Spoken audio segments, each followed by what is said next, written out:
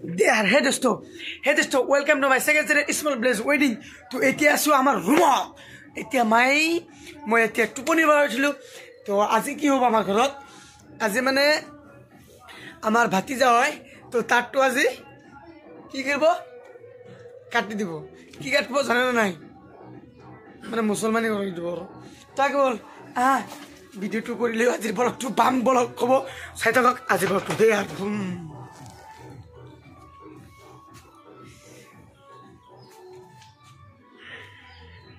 উম। যাইছোঁ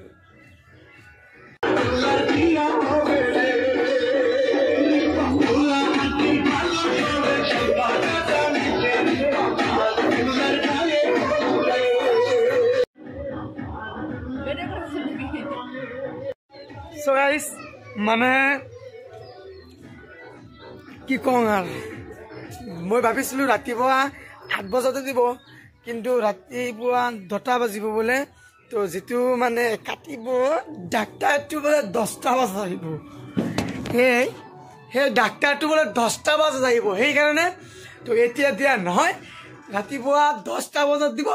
তো চাই থাকক আজি ব্লগটো স্কিপ নকৰাকৈ আৰু আমাৰ ভিডিঅ'টো যদি আপোনালোকৰ ভাল লাগে লাইক কৰিব শ্বেয়াৰ কৰিব আৰু লগতে ছাবস্ক্ৰাইব কৰি দিব আৰু আমাৰ আঁকিবুলৰ এটা চেনেল আছে ইণ্ডিয়ান আঁকিবুল সি আৰু গান কৰি থাকে।